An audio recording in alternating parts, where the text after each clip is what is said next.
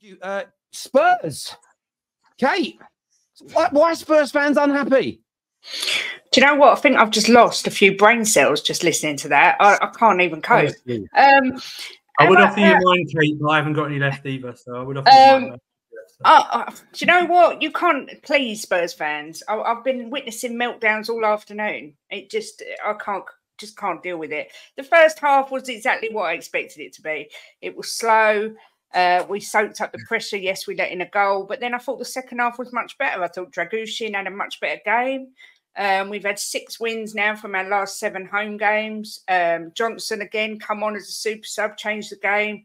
Um, yep, Werner, yep, Johnson both need to work on their finishing. But um, do you know what? We had 70% possession, uh, 84% pass accuracy. I don't really understand where the negativity is coming from Hey. at this stage of the season. Who gives a shit whether we Kate. perform well? It's the three Kate, points. Come matter. on, You- Kate, you know Kate. me- I, I I would say usually this is usually the other way around. It's usually me being optimistic and then you going, George, George, no, hold on there, and then you're giving me the realist. I'm gonna have to give you the re- re- realist right now. We were we were poor today. We, we were really really really bad today. And as much as I would like to be positive, like, like and look at all the stats and say, "Do you know, what? it's not all doom and gloom. It's not like if you look side of the performance itself, it's not that bad. But performance that that we had, it was just poor from front from back to front. I feel like it took far too long to get in the game. This is a Luton team that's littered with injuries, by the way. A lot of their big players are out and they're battling relegation. We're at home. In the first half, within two minutes on the transition, we get caught out, players out of position, and they find themselves 1 0 up. Yeah, look, it's unlucky at times, but that's just not good enough. I feel like the amount of times that we've conceded, like we, our, our amount of clean sheets we've had this season, we probably had like four or five clean sheets this season. As a team that's battling for top four, it's just not good enough. I'm usually very optimistic about these wins, and I'll be like you, look, the three points are the three points, but I just wasn't convinced by this win that we're going to be progressing in the way that we need to be. Um, the, the, the past couple of performances, apart from the Aston Villa one, have just been all like last minute. Crystal Palace, it was a last 20 minutes. We had a little run, get two or three goals. And even today, it felt like the last half hour, we started to build into the game. We started to find our feet, but we're just leaving it too little too late. And we needed Son to score in the 85th minute to then get the 2 1 win. And it's tight. It's tight. Even th- we've been in these positions before against the likes of Wolves and so on. And we go into the 90th minute, it looks a bit shaky. And we all know once a team builds momentum, they feel like they can come back in the game when there's five minutes left. You can't do that to a team like Luton. They only need one or two set pieces, and all of a sudden, look, it's 2 2, and and we're, we're two points down, and we're not in the top four no more. So for me, I feel like today was just a lot of players were, were not turning up to performance that I needed to see. Maddison built into the game for the last 20 minutes, but that first half was poor. He felt like he was a shell. He didn't really want to take control of the game, and it felt like at half time, Ange told him, This is your team. Show us this is your team. And he- he started to show a bit of it, but he got hooked. I heard he had maybe an injury, a muscle problem, one of those, but it just wasn't good enough today. I'm not going to lie. 2 1 win, but it did not feel like a win at all. Yeah.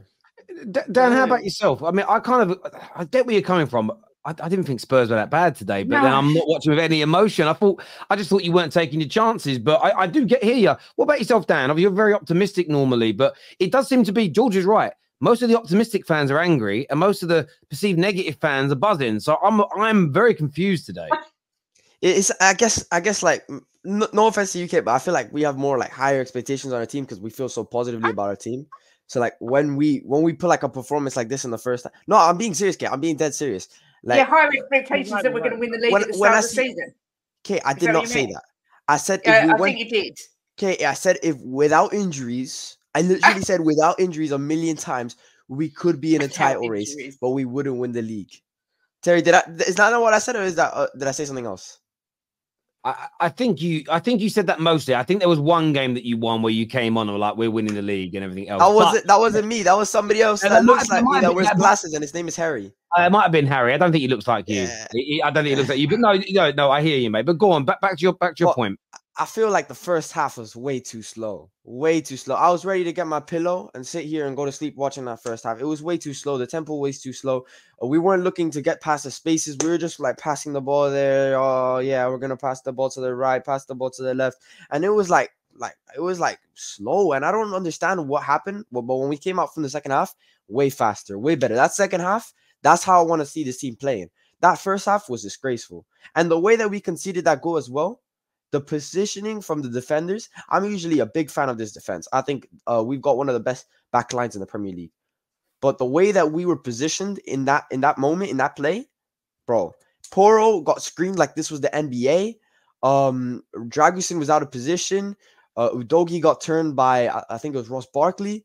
I, I don't understand. I don't understand. No, it was um, it was um, shoot, it, it was uh, who was it that turned Udogie? It doesn't matter. It doesn't matter. But he got turned by somebody. and and I think that that first goal, the way that the, every defender was stood was poor. But as Kay said, Brennan Johnson came on the super sub. Uh, Nottingham Forest. I mean, do you want another 50 million? Because we could definitely give it to you, mate. We could definitely give it to you. Brennan Johnson. It, it's looking it's looking good for him right now. Last couple games, he's been very, very good. But um Brennan Johnson, I, I really like him in that position where we bring him off the bench in the second half. I think he's great at that.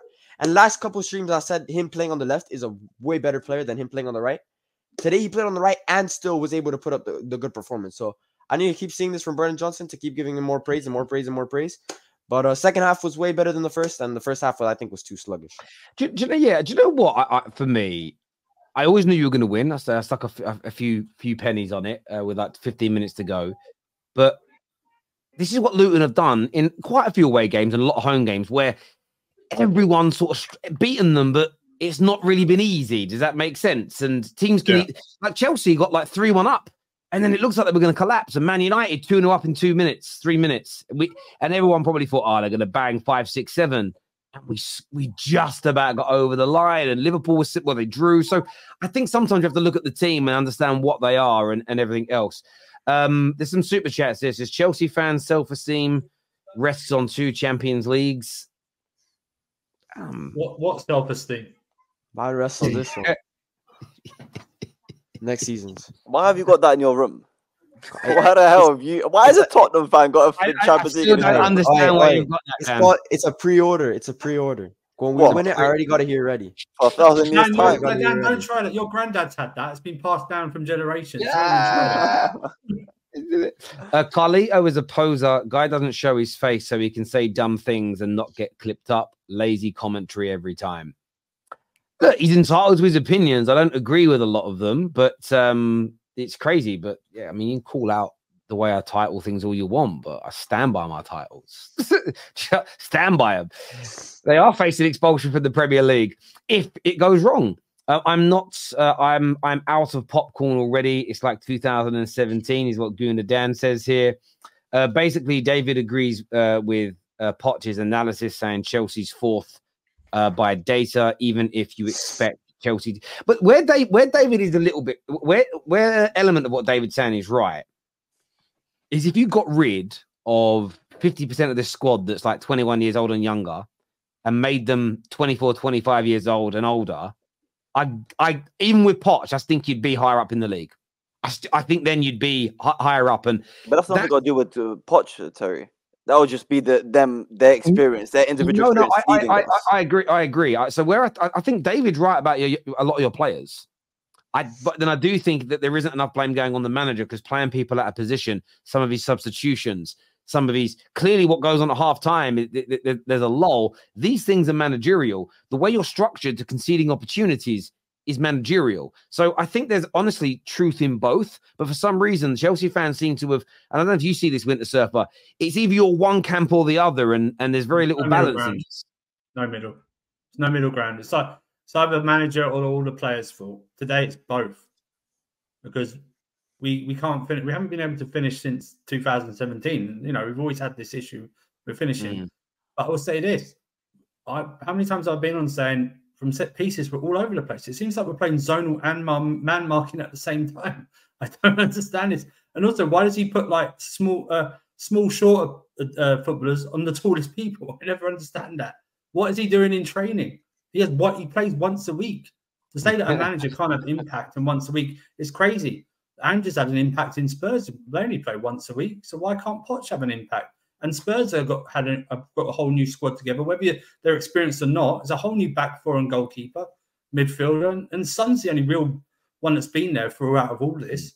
So why can't Poch yeah. do it? You know, I, I, agree. So, Yeah. so okay, there's, there's two small points. The, the first point about uh, again about uh, how uh, about Ange, for example, he's had a great first year. Ten Hag had a great year last year. I want to see next year what happens. Oh, I- I like I don't. don't get me I don't want to see it. I don't want to We're see cooking. Look, look. I'm Next go- year, This is Poch's first year. next year we're cooking. Yeah, this is Poch's first year, I don't want to see his second year. Yeah. No, no, no, No, it's no, no, fine. I, I, I'm, I'm separate uh, from Chelsea. I'm talking about talk, talking about It- myself right now. So yeah, we- so, I know. Yeah. I know. yeah. So again, again, Ten Hag took United from their worst ever end to the season uh, to third place in a cup, and from last year talking about or their eighth place, something like that, to like top four, top five. Great. I want to see how he goes next year before I judge him as a good manager or not.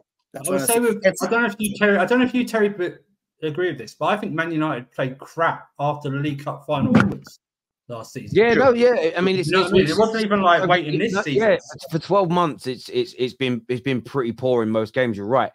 Uh, But he this year, won. says- yeah. Uh, today was a shit show. Spurs was weak. Chelsea absolutely crap. Fulham lost. Uh, I'm lost for words. As a gunner, I want Man United to win tonight. Well, so do I. Uh, I, yeah. Do you know what, what? I didn't watch any football until the three o'clock games. I, did- I, I I can't wait to watch the highlights of the uh, Newcastle game later.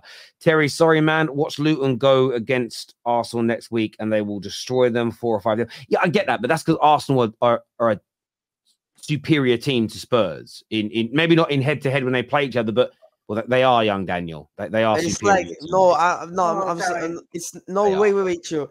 are. Squad, squad, yes. Starting eleven, no.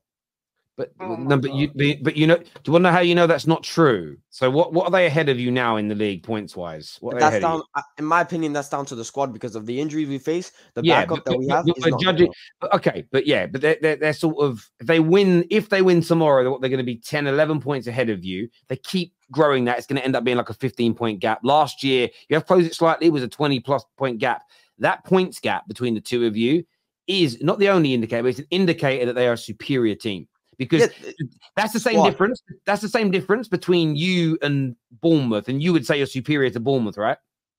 Yeah, well, by far. But that, but I'm. But that's the thing, though. We also But- but got Dan, the- Dan, Dan, Dan, Dan, Dan, Dan, Dan, Dan, Dan. Dan, Dan, Dan. But football teams have never been about, not in the modern day game. They're not about your 11, they're about your squad. Know. That's But what that- I was trying to in- in educate the- you at the start of the season seasons- when you were saying we got a chance of winning the league when we had the Kate, likes Kate. of Dier and Højbjerg. Dan, I please did not stop say that. talking. I did not Please say that. I stop did not say talking. that. I did not Please say stop that. talking. I'm running out of time. I've got to go for these super chats here. Alright. This is-